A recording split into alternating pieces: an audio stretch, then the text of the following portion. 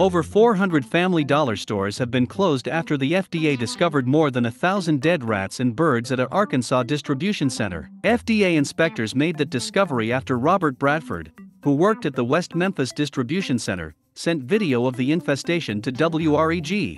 Video taken shows rats fighting together on the warehouse floor, rodents scurrying up and down the aisles, and a dead rat that had been caught in a trap. The infestation has been an issue going back to at least 2014 when a downtown Memphis Family Dollar store was shut down for smelling like dead rats. And in 2019, a health inspection report noted rodent droppings on store shelves at a Hickory Hill Family Dollar store, causing that location to close. In my opinion, this doesn't surprise me one bit. My question is why did the FDA wait so long to finally do the right thing? I only shop at these stores if I need markers, envelopes, and that's about it. I never buy any food there or household items. They sell no-name brands that I have no idea where they come from or what is in them. Anyone else think the guy that leaked the video is getting fired? Please be careful while you are out shopping as this can happen at any store. Those are my thoughts, what are yours? Leave them in the comments below, please share this video for education and awareness, for the Dum Dum News channel, I'm Dum Dum.